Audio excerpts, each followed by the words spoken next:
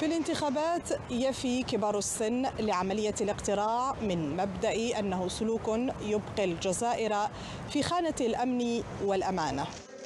لا راه غادي يركب الله يعاونه على هذا البلاد وينصر لنا البلاد. وليداتنا راهم مغبونين بزاف. وليداتنا راهم مغبونين بزاف راهم يقطعوا لفرنسا يتبعوها دارت في الباطل فينا وراهم يتبعوا فيها. انتخابات رئاسية ثانية بعد الحراك يراها البعض خطوة إلى الأمام نحو تحسين وضعهم الاقتصادي والاجتماعي. وينظر إليها البعض الآخر بعين الحذر.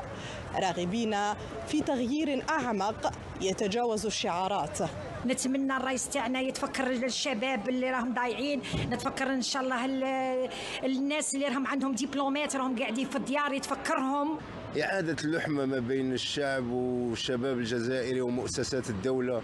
التي صارت صار الشعب لا يثق في في العهدات أو الرؤساء أو البرامج.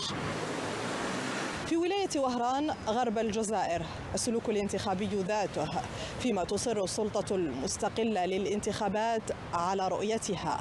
رفع نسبة المشاركة في الاقتراع. ثلاث محاضر بالنسبة لكل مترشح سوف يسلم له المحضر.